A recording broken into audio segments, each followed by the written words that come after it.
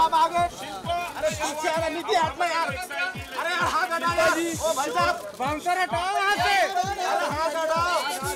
ए शिल्पा जी बोल रहे कुछ बोल रहे जी अरे इनको है ना शिल्पा पहले शिल्पा जी। तो हटाओ। Centre centre centre Shilpa ji Shilpa ji Shilpa ji रुको रुको शिल्पा जी ऐसा हिम्मत शिल्पा जी मैम बोलिए मैम बोलिए शिल्पा जी तेजस शिल्पा जी शिल्पा जी अरे बस करना विशाल हाँ शिल्पा जी शिल्पा जी शिल्पा जी शिल्पा जी कौन रहा है बोल दो क्या tense also actually Shilpa ji Tejas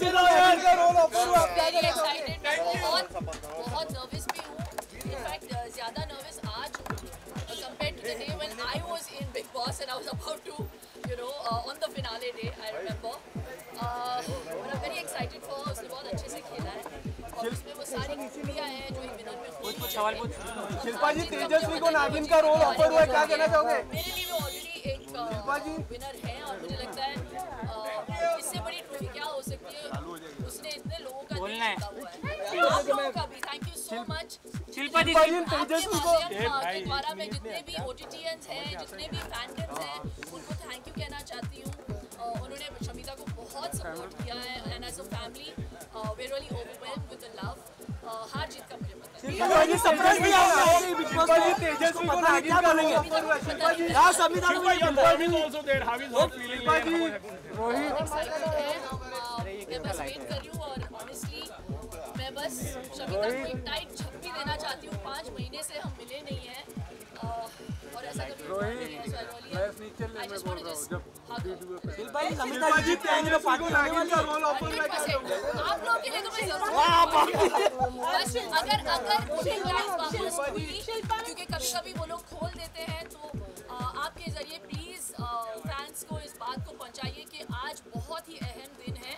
और अगर हो सके तो वो वोट ज़रूर दें बूथ पे जाके I'll make big difference well Shamita ने क्लियरली तेजस्वी को कहा ना- कि इसका उन्हें शादी करनी है इसी साल डू यू थिंक ये साल वो शादी कर लेंगी।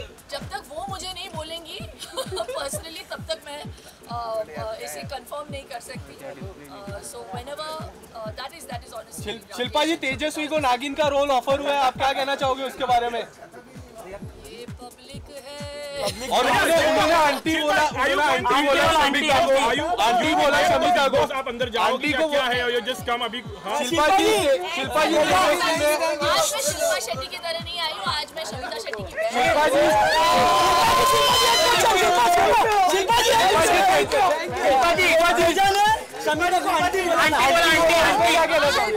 आंटी बोला आंटी हूँ। है इसके बारे में।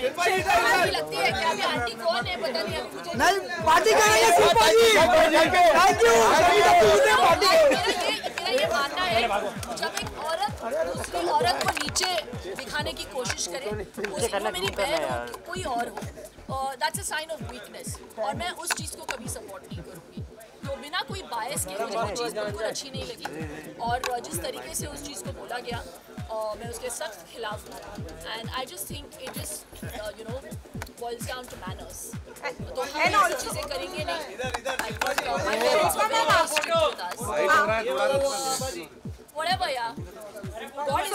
सबका मालिक है. उनको सब पता है और वो सही डिसीज़न लेते तो जो भी होता है अच्छे